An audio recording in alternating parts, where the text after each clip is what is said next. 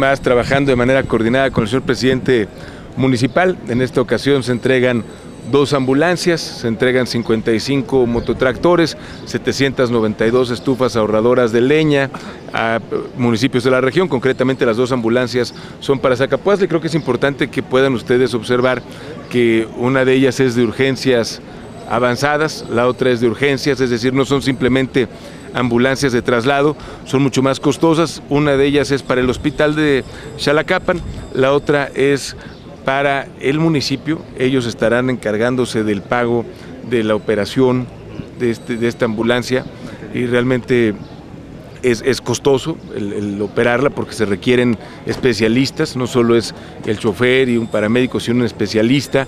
Y por supuesto que eso muestra el compromiso del señor presidente con eh, la salud y creo que es un, paso muy importante. Son pocos municipios los que cuentan con ambulancias de este tipo y nos da mucho gusto pues que aquí en Zacapuasta se haya avanzado tanto en materia de salud. Tenemos un problema en este municipio, en esta zona, concretamente de muerte materna.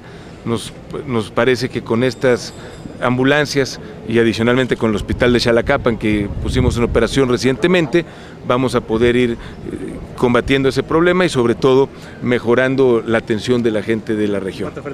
De la cual principalmente están hacia las batas rojas, que son las embarazadas de alto riesgo, que es una prioridad para nosotros, y alguna situación de algún, algún accidente que realmente amerite la especialidad. Eh, una vez que, como también él lo comentó, los médicos especialistas que se encuentran dentro de, la, de, los turnos dentro de la unidad, ellos valorarán a qué hospital o se puede dar la atención directa aquí en el hospital de Xalacapan. La unidad básica que va a tener Xalacapan es para puros traslados. Traslados que en un momento dado, eso sí nos viene a reforzar mucho, porque entonces ahora ya vamos a tener mayor apoyo de Huehuetla, Zapotitlán, de la zona en donde realmente en ocasiones carecemos de esto. Yo creo que es un apoyo bastante grande, principalmente para esta población. ¿no? le explicaba que tiene incluso incubadora. Sí, le digo, es incubadora de alta especialidad, que nada más esos son muy contados aquí en el municipio, bueno, los 30 municipios, en los 30 municipios que nosotros tenemos es la primera que tenemos. Ah, no había ni intención, no, ahorita les va a llegar unos a ellos, pero primero lo obtuvo este Zacapuas. Lo coordina el CRUM, CRUM a nivel estado. Entonces, si hay alguna situación de alguna necesidad de urgencia, primero es la coordinación que se tiene este eh, suma con CRUM, el CRUM valora el estado de que se encuentra la paciente y ya se hacen los traslados correspondientes. ¿No dependen de la jurisdicción? No, no, es una coordinación.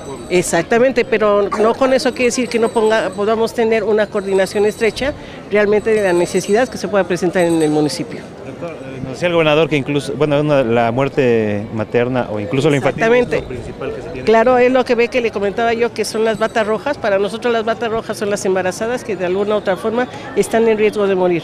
Entonces eso nos facilita mucho la atención que se pueda dar en, es una prioridad aquí ya muy sentida dentro de lo que corresponde a los municipios. Exactamente, si suma en su momento no les da tiempo de llegar por la distancia hacia la ciudad, a la ciudad de Puebla, entonces se utiliza ese, precisamente el helicóptero de traslado que eso ya sería en segundos precisamente para poder este, ver que esa paciente no se nos vaya a morir. ¿Ya se han hecho traslados de acá? Sí, sí, hacemos el traslado, este, se hace la conexión, antes se hacía la conexión Teciutlán con Cuyaco o Tlatlauji con Cuyaco o Huehuetla con Cuyaco. Yo creo que eso nos facilita bastante las cosas. Así es. referente al, caso de Tagitic, ¿ya mandaron personal para la clínica? Ya, ya, eso ya está un médico más, un médico más en la cual está... Exactamente, un médico general más en donde se va a cubrir turno vespertino.